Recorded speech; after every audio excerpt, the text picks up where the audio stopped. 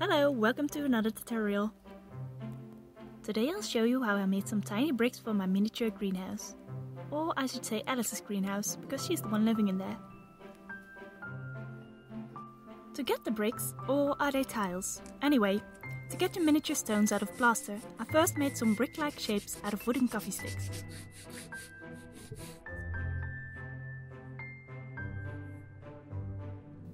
I measured out how big I wanted them to be using Atlas as a reference. I'm sorry if it seems like there's an earthquake happening in this video. My crafting table is about as stable as an old lady waiting for a hip replacement.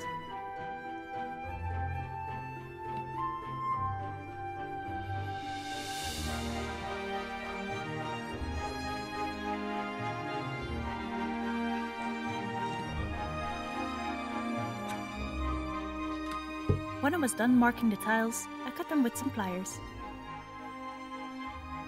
You might want to clean your room before you do this, because I lost some pieces that flew off into the abyss that is my crafting room.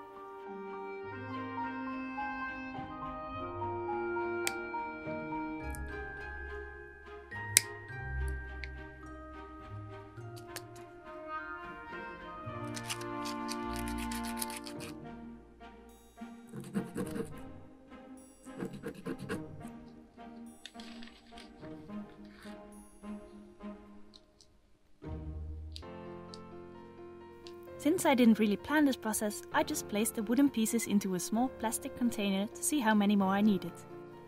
While we're waiting for past me to make some more pieces, I just wanted to apologize for the grainy camera footage. After I filmed everything, I discovered the ISO levels were set way too high, so most of the footage turned out to be kind of grainy.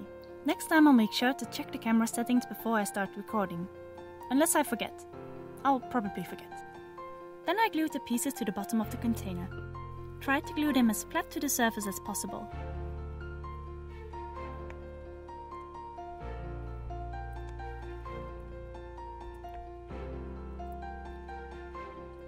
In the middle of my container was a small bump in the plastic, so I left that space open.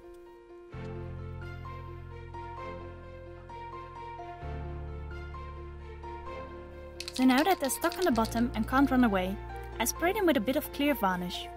This is to protect the surface from the silicone. Now on to the scary part. Just kidding, working with silicone isn't scary at all, but it used to scare me when I was just starting out using silicone. I don't know why though, silicone is so nice. I always use two containers when mixing it. First I pour the two liquids in one container, measuring carefully. Then I mix it, transfer it to another container and mix it again. That way I'm sure there's no unmixed silicone left.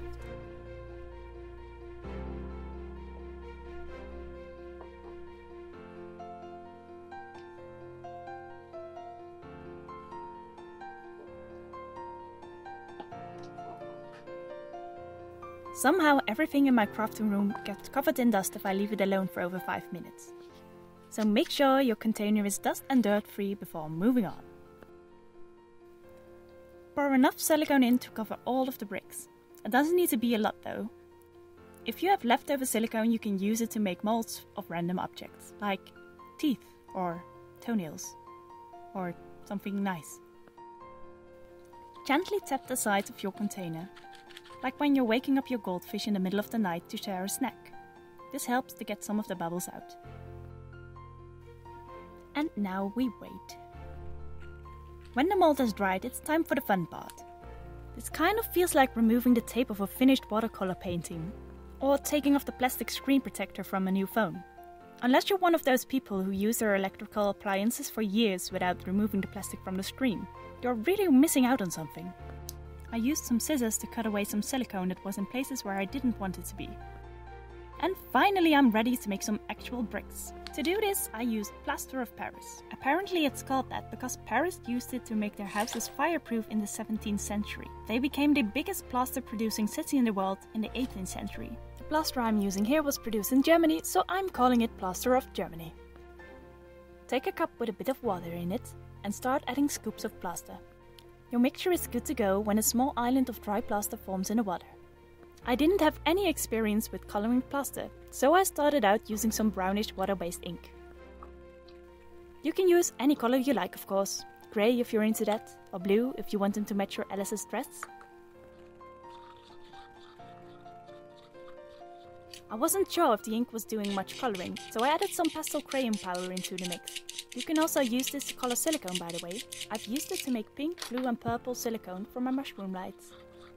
When the mix is done, you can go ahead and fill the mold.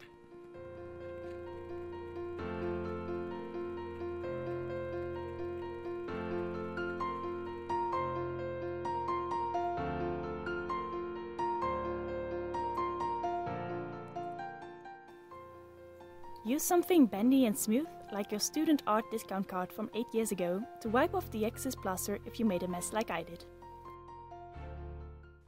Your mold is ready to give birth to some beautiful baby bricks. You can help popping them out by pushing from the back. Just don't do that to any human giving birth.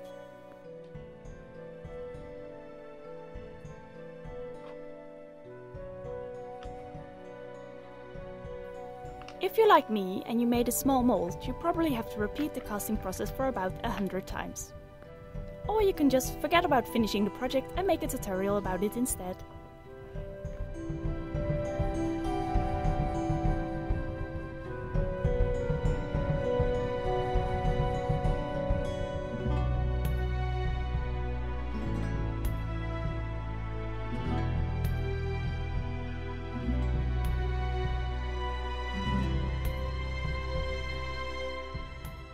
Thank you all for watching and until next time, bye! Unless you're one of those people who use their electrical appliances for years without removing the plastic from the screen. Screen!